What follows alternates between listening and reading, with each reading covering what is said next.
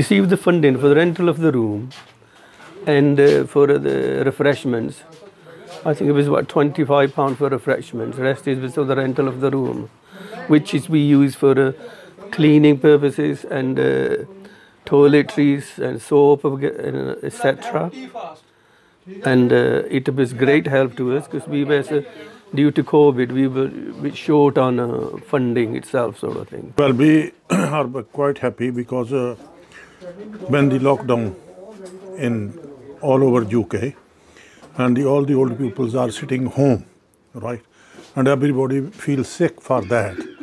And then I ask, I request to the Indian Community Center Committee if you can provide a room for us, right, and the people can come to there and on few hours they can sitting in here together and then they can talk each other and be be happy I love it. They've been here for the last three months, three or four months, right? And uh, they would like to continue that if it's possible. It's a great help to the community centre itself as well.